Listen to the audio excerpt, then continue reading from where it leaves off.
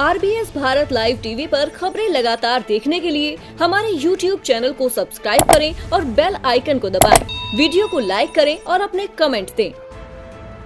pavilion court society sector 128 थाना expressway क्षेत्र में सूचना प्राप्त हुई थी कि एक फ्लैट में माँ और बेटी द्वारा सुसाइड कर लिया गया है इसमें जब पुलिस द्वारा वहाँ पहुंचकर जाँच की गई